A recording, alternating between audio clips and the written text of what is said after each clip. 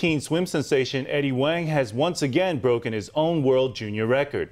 The 18-year-old from Taiwan put up a time of 1 minute 49 seconds 89 hundredths in the men's 200-meter butterfly at the International Swimming League semis. This was his third time setting the world junior record for the event this season.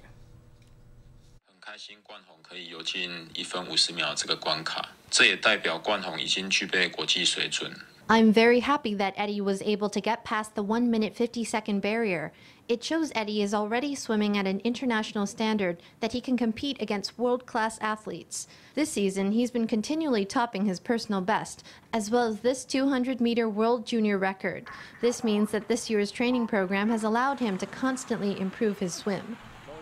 Wang got the junior record, but he didn't win the race. At the semi-final in Budapest, Wang came in second hand behind 29-year-old U.S. Olympic gold medalist Tom Shields.